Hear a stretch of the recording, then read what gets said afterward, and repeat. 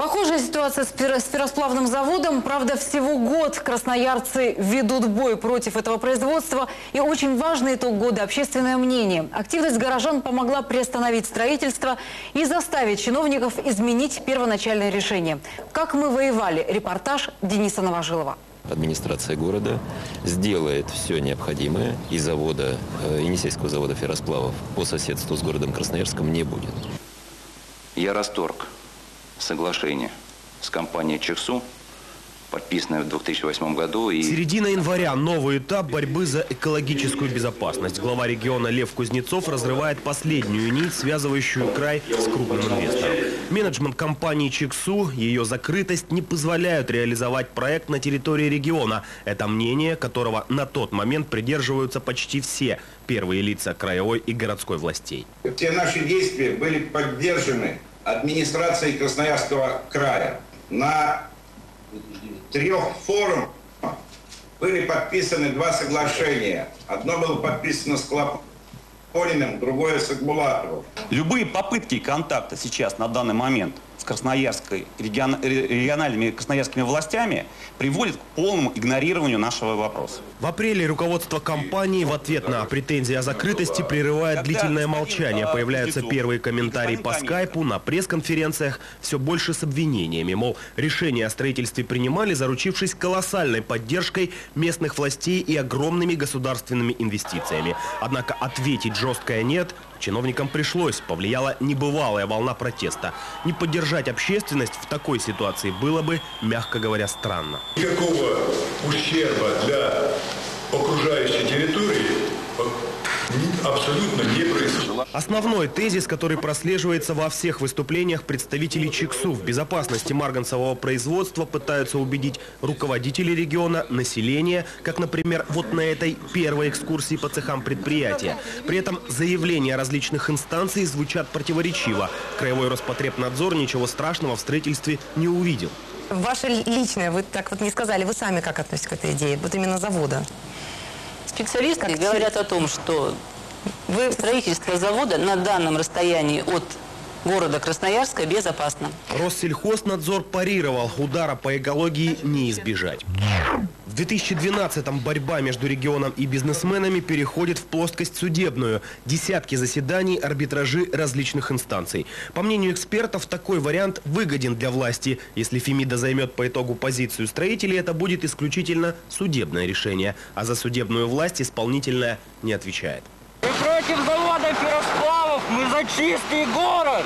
Тем временем Красноярск продолжает окрашиваться в желто-черные цвета. В апреле под визг клаксонов и с включенными аварийками сотни автовладельцев проехали через весь город. Спустя две недели пикет у стен краевой администрации с барабанами. На 1 мая активисты прошлись по улице Мира в противогазах. А уже в сентябре праздновали годовщину протестного движения. 50 несогласных со временем трансформировались в почти 200 тысяч красноярцев, которые своими подписями высказались против возведения завода. ПДК, ПДК Марганца будет э, э, меньше, что? Кто вот? Вы согласны жить на территории? У меня есть квартира в Солнечном, я предоставлю ее в проживание вашей семье. Но мы будем следить, будете ли вы там жить.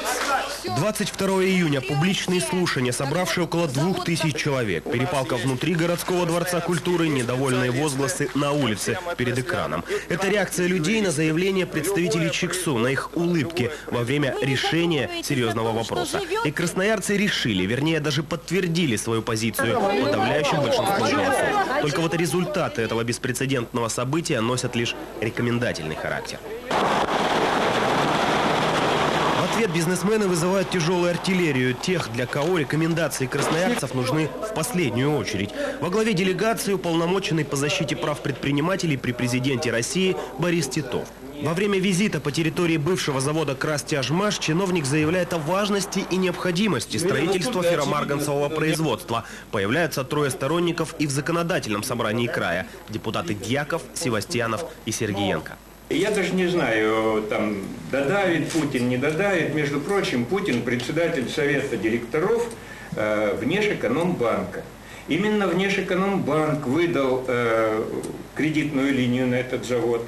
Именно э, почти 10 миллиардов Внешэкономбанка уже потрачено на э, вот эту площадку.